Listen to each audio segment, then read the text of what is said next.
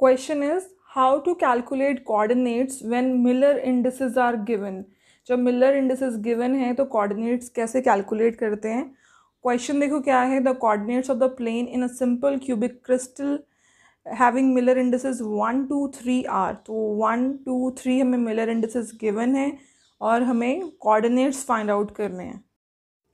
तो कोऑर्डिनेट्स जो हैं, उनको हम रिप्रेजेंट करते हैं एक्स वाई जेड अगर हमें उन्हें इंटरसेप्ट की फॉर्म में रिप्रेजेंट करना हो तो होता है N one A N two B N three C ठीक है? तो ये इंटरसेप्ट फॉर्म में हो जाता है।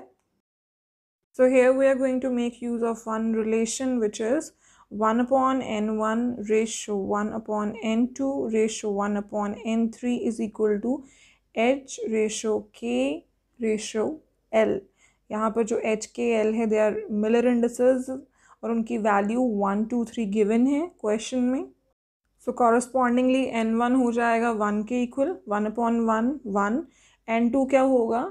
वन अपॉन टू और एन थ्री हो जाएगा वन अपॉन थ्री अब ये N one N two N three की जो कॉन्स्टेंट्स हैं ये, इनकी वैल्यू हम सब्सिट्यूट कर देंगे so that we can find out coordinates so X Y Z X क्या था? एन वन ए मतलब वन इंटू ए वाई क्या था? N two B so N two कितना है? One upon two into B और जेड कितना था? एन थ्री सी तो एन थ्री की वैल्यू क्या है?